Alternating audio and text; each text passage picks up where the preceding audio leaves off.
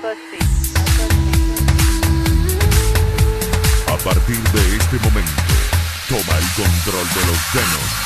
El DJ Carlos Sanabria, imponiendo su estilo único y original. Imponiendo su estilo único